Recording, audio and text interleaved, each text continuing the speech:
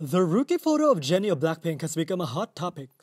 Just through a photo taken when she was a rookie, Jennie affirmed the level of a real rich kid.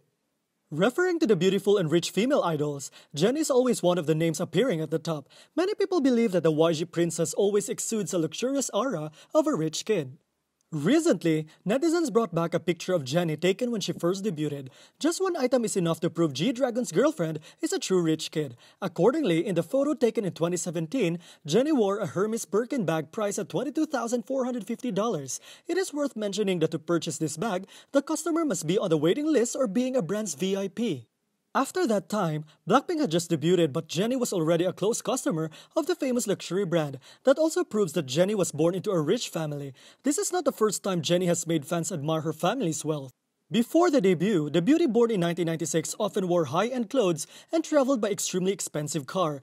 Since the age of 10, she had been studying in New Zealand at a luxurious international school with expensive tuition fees. Many sources reveal that Jennie's mother was a major shareholder of Korea's largest media group. The female idol's father owns a hospital and has close relationship with many high-ranking officials. Before rumors of family background, Jennie and YG did not confirm or deny, making people more curious.